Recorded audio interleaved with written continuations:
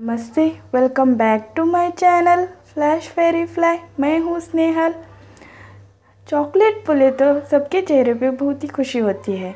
पर चॉकलेट बनाने के लिए कैरेमल किस तरह से बनाता है, बनाना चाहिए? वो बोले तो सब भी घर में यहाँ क्या चॉकलेट बनाने तो पीछे हट जाते हैं। पर अभी ऐसा नहीं होगा। हम आज कैरेमल किस तरह से बनाते हैं वो सीखेंगे। कैरेमल मैं क्रंची कैरेमल बनाने का नहीं सिखा रही हूँ। आज जूसी कैरेमल किस तरह से बनाते हैं, वो सिखाने वाली हूँ। उसके लिए चाहिए इंग्रेडिएंट्स दिखाती हूँ। इजी एंड क्विक रेसिपी बनाएँगे हम कैरेमल शुगर इसके लिए चाहिए one cup sugar one spoon butter 200 ml milk. चलिए बनाने स्टार्ट करते हैं। अभी मैंने गैस ऑन कर दी हूँ, इस पर पैन रख दी हूँ। कैरेमल बनाते वक्त आपको ये ध्यान रखना चाहिए कि आप हेवी बॉटम पैन लेना चाहिए। मेरे पास इतना ही है, मैं ऐसा ही लियो इससे ज़्यादा हेवी बॉटम रहेगा तो भी आपको चलेगा। हुँ? अभी इसमें शुगर डालेंगे। वन कप शुगर ली हूँ मैं। आपके घर में जो भी अवेलेबल है मेजरिंग स्पून इस, उसी के हिसाब से आप ले सकते हो। अभी मैं लो फ्लेम पे रखी हूँ इसको। अभी इसमें एक बूंद भी पानी नहीं रहना चाहिए। इसी तरह से इसको शुगर को मेल्ट कर लेना है।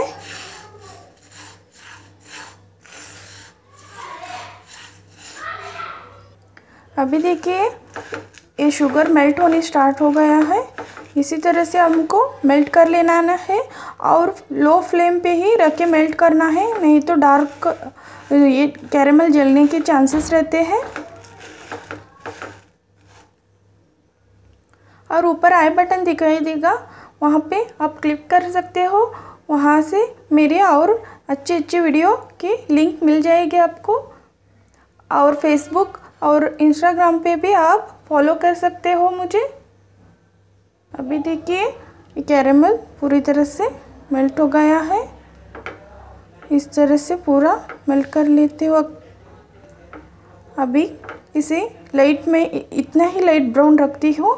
यदि आपको इससे ज़्यादा डार्क ब्राउन होना चाहिए तो आप ज़्यादा डार्क ब्राउन कर ले सकते हो।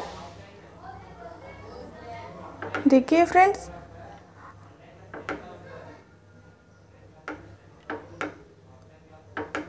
हाँ मैं इतना ही लाइटली ब्राउन रखती हूँ।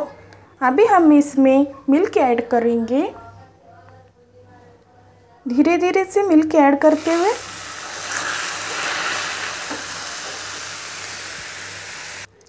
अभी मिल्क डालने के बाद इस तरह से उबगाल आने चालू होता है और थोड़ा सा कैरेमल इसमें क्रंची जैसे ही स्प्रेड होने लगे तो कोई बात नहीं है, डरने की। वो इसमें दूध में अच्छी तरह से मिल जाएगा। हम्म?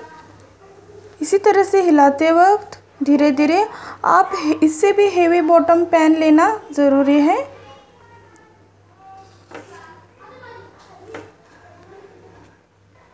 ऐसे ही आपको मिलाते हुए आप इस गैस पे रख के आप कहाँ पे भी नहीं जाना चाहिए। इसको इस तरह से स्टर्व करते हुए और जो कुछ भी बाजू में आता है, उसी स्पैचुला की मदद से इसको बीच में लेके आना है आपको।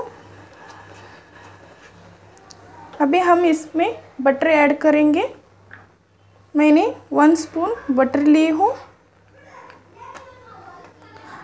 यदि आपके घर में बटर नहीं है तो आप इसमें थोड़ा सा क्रीम भी ऐड कर सकते हो।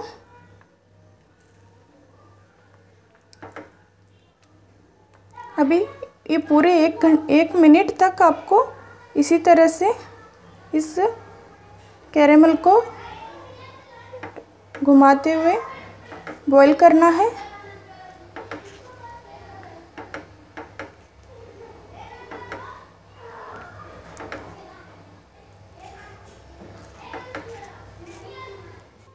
देखिए फ्रेंड्स अभी इसकी कंसिस्टेंसी इतना ही रहना चाहिए, इतना पतला है, पर ये ठंडा होने के बाद थोड़ा गाढ़ा हो जाएगा और फ्रिज में रखने के बाद तो फुल गाढ़ा हो जाएगा। जैसा हमको चॉकलेट बनाने के लिए चाहिए, उतना।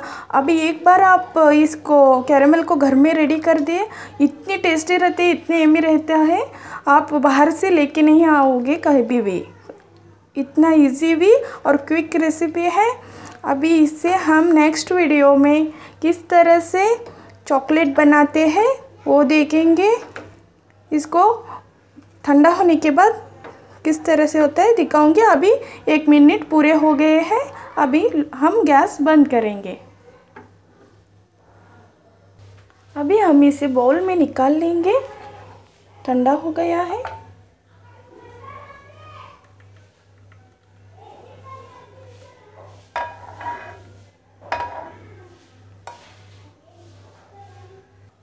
आप इसे बना के आराम से फ्रीज़र में रख सकते हो। 15 डेज़ तक आप कोई भी रेसिपी बनाते वक्त इसको यूज़ कर सकते हो। देखिए फ्रेंड्स कितना बढ़िया सा हो गया है। अभी आप इसको किसी भी चॉकलेट बनाते वक्त, कभी भी किसी भी रेसिपी रेसिपी में आपको ज़रूरत पड़ेगी तो आप बना ले सकते हो यूज़ कर सकते हो। मेरे और भी अच्छे अच्छे वीडियो पाने के लिए सब्सक्राइब कर दो। Thank you for watching enjoy the recipe